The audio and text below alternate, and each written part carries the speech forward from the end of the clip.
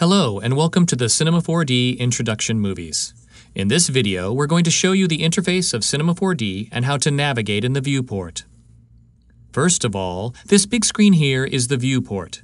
It displays all the objects you've created in your scene.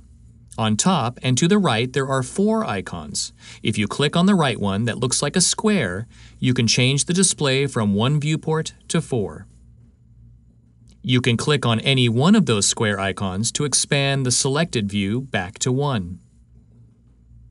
In Cinema 4D, you've got many ways to navigate. One of the ways is to use the three other icons here. If you click and drag the first icon, you can pan the camera. If you use the second icon, you can move the camera in and out. The third one rotates your camera. You can also use the Alt key in combination with the left, middle, and right mouse button. Let's take a look at the whole interface of Cinema 4D. On top, you can find the icon palette with different colors. Tools and functions are displayed in warm colors like orange and yellow. And objects have cold colors like blue and green. You can find icons to move, scale, and rotate your objects, and also icons to render your scene, and the command group icons. A command group icon is recognized by the little black arrow at the bottom right side. Just click and drag to choose between the different objects. On the right side, you'll find the Objects Manager.